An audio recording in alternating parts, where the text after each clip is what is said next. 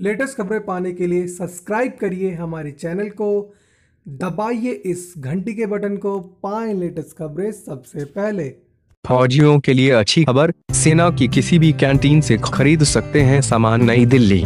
फौजियों के लिए अच्छी खबर है। अब वे देश भर में सेना की किसी भी कैंटीन से सामान और लेकर खरीद पाएँगे। एक अखबार में प्रकाशित खबर के अनुसार फौजियों को सामान या लेकर लेने के लिए उसी कैंटीन, यूनिट रन कैंटीन, में जाना पड़ता था जहाँ से उन्हें स्मार्ट कार्ड इशू किया गया है। अगर वे किसी दूसरे स्थान पर हैं और वहाँ की कैंटीन से सामान लेना चाहते हैं तो उन्हें अपनी यूनिट कैंटीन से नो ऑब्जेक्शन सर्टिफिकेट लेना पड़ता था। सेना ने इस सर्टिफिकेट की बाध्यता खत्म कर दी है और अब वे किसी भी कैंटीन से अपनी ज़रूरत का सामान खरीद सकते हैं। अखबार के मुताबिक इस बारे में हाल ही में एक आदेश जारी किया गया है। आदेश के अनुसार अब कोई भी यूनिट रन कैंटीन ऐसे किसी भी लाभार्थी को जिसके पास कैंटीन का स्मार्ट कार्ड है, उसे सामान या लेकर देने से मना नहीं करेगी। आदेश में कहा गया है कि इस आदेश के बाद अब फौजी चाहे छुट्टी पर हैं या किसी दूसरे इलाके में हैं, अपने स्मार्ट कार्ड से सेना की किसी भी कैंटीन से सामान खरीद पाएँगे।